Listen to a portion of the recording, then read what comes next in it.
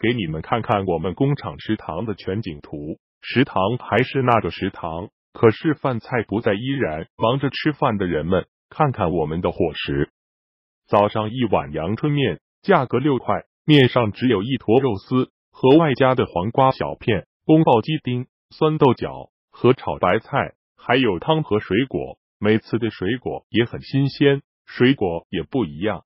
萝卜汤很好喝，而且可以无限续杯。我一次喝了三碗，有时还会有小海鲜、小菜什么的，也很好吃。今天是小黄瓜。再好一点的时候，还有河鱼和红烧鸡腿，但是一定要早，晚一点啥都没了。还有我最爱的桃子，我都会把它留下来慢慢吃。其实食堂开始的时候做的很不好吃，然后听说有人跟领导提意见，后来领导就说饭前收拾快，改善我们的伙食。我们开始都很反对，毕竟工资不高，想多赚点。后来伙食变了之后，反对的人也渐渐少了。